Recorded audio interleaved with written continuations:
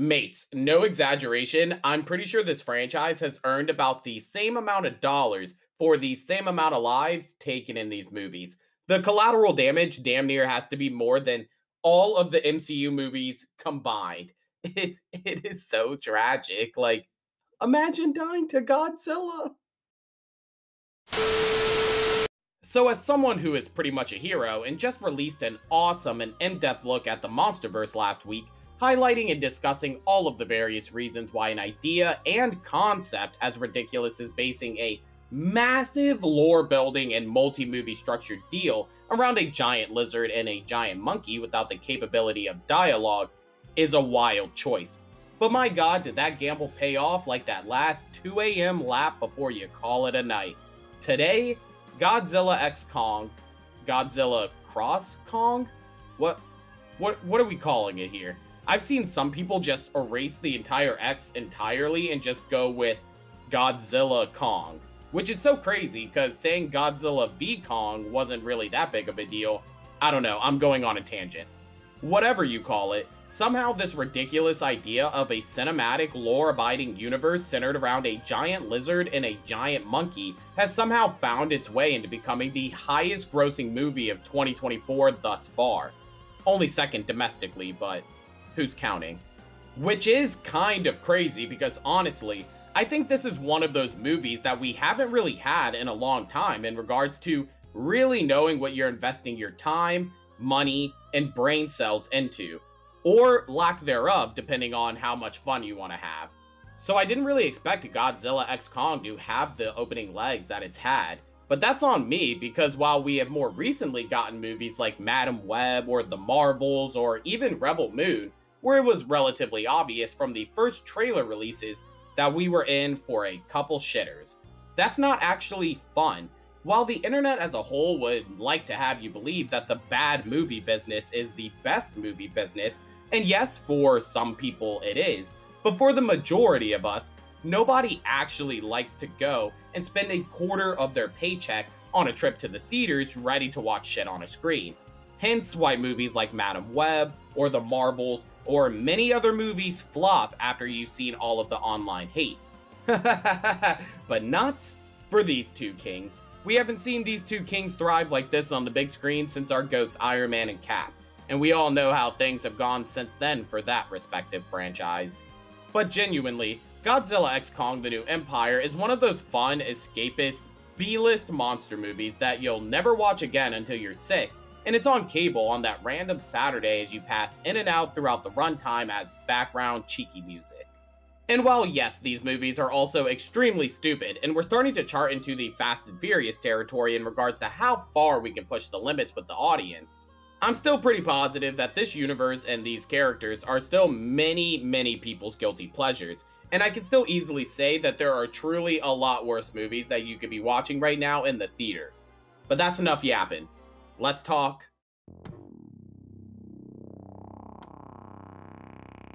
Yeah, there's not really much of a plot here, but I guess that's also to be expected. But I can say that I do at least respect the writing room on this one, we're truly just writing anything and everything and just seeing what really sticks. And while I will definitely not be giving the team credit for certain setups having certain payoffs, like this random little girl that's Kong's best friend being the girl who saved everything, I will say that the lore and world building isn't that half bad, and probably the best aspect when it comes to the cinematic universe as a whole when you don't count the two main leads.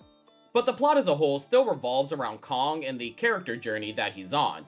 Following the events of the first movie in this probable trilogy in Godzilla v Kong, the two find themselves in the most harmony that the 13 people left on the planet could hope for, with both now establishing their respective territories, Godzilla on the surface world and Kong in Hollow Earth, with Kong's main driving force being to find more of his kind.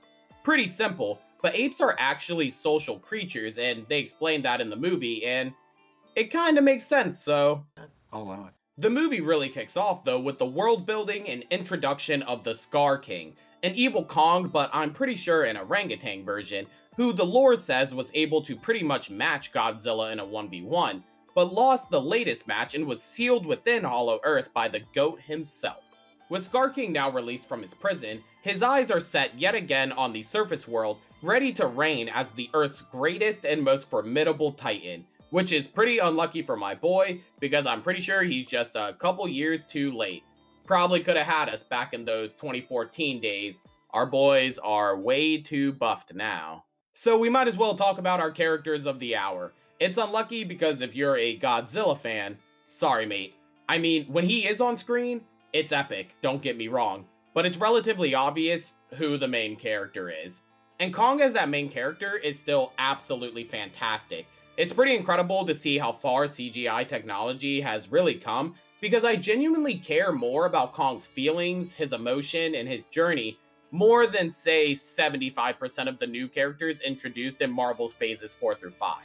And when we aren't watching Kong go through an actual character journey, which is still pretty weird to say, the action still leaves nothing to the imagination.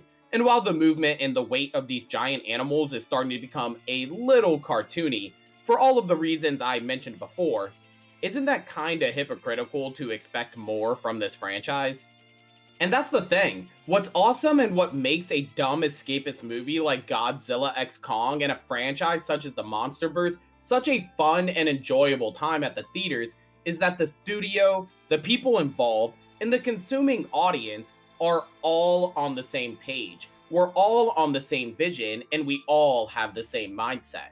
I feel like I touch on it in so many videos because there are so many movies that make the mistake of not knowing what their audience wants a growing problem in Hollywood when it comes to the studio to audience relationship. But you have to give a quick shout out to all of the people involved in running this particular cinematic universe, because there hasn't been a lot of misses when it comes to the side of audience expectations, and while I have no idea how long they can actually keep up this simple of a premise, it still doesn't take away from the fact that the Monsterverse as a whole has low-key become Hollywood's second most successful cinematic universe behind the titan that is the MCU which I can confidently say wasn't on anybody's bingo card when the first Godzilla movie hit theaters a decade ago.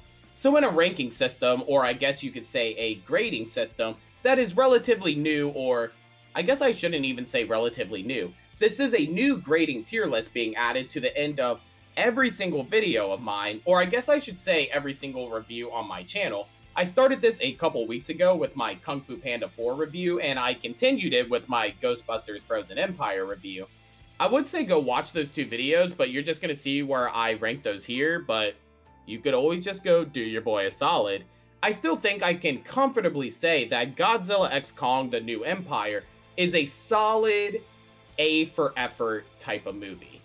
And let me tell you, that's not a bad thing. The studio knows exactly what I want from these characters, this premise in this franchise, and Warner Brothers continues to deliver the supply to my demand.